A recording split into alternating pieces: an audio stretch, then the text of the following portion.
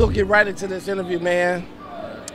Today was kind of um, a slow. Look like you guys, you guys had it, but y'all just a little rusty, man. So you took over as the leader. So how did that make you feel? And what was your position, man, on when you start seeing, okay, I need to step up? Um, down like in the middle of the second half, um, a lot of my teammates wasn't finishing like that, and I just simply just just relied on what I do best, just score the basketball. That's all I could do. I was trying to set them up in a good position to score the basketball though, but it was just it was just first game. They was nervous. But I seen you out there. You were directing traffic too, man. You was communicating. How important is that when you out on the floor, especially as a leader? Very important, and I've been learning that all the past years I've been playing high school basketball up here. It's like I don't know, because we got a lot of sophomores and like freshmen and stuff. It's like kind of rebuilding years, and they don't really know that much. And I just be trying to, if I can't tell them to do something, I just try to show them how to do it. And then hopefully next play they kick on and know what they're doing. You know, most most coaches say that you know you um, you you play like you practice, right? How do you feel about that? That's 100% true. Because if you're in practice before a game and you just not shooting for real or not laying the ball up for real or not holding defense, whatever you do best, when you get in the game and try to just turn it on, it's gonna be a problem.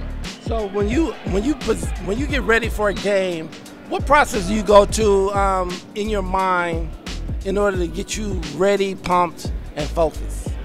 Um, really, me, just me. I just need music.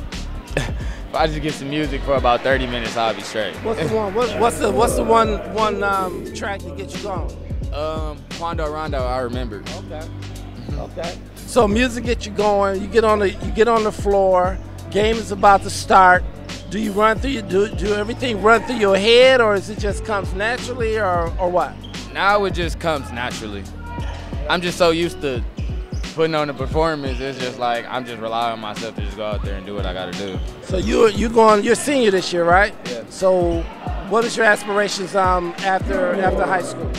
Um, right now I'm looking into college. I got a few looks uh, a few schools that want me to come to there, but I'm just looking for a school that's really good with physical therapy and drama because I'm still trying to major into in one or the other because I want to go to school for four years. So how do you predict this season's going to be now?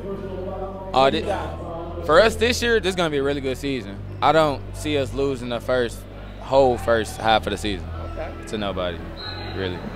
So any any advice you want to give to um, not your teammates, because they hear you every day. What about the, those naysayers out there and those folks who uh, think you guys not gonna make it as far as you say that you are? What, what you got to say? I'm gonna just tell people to just come watch the show, and if they don't come, they're gonna hear about it.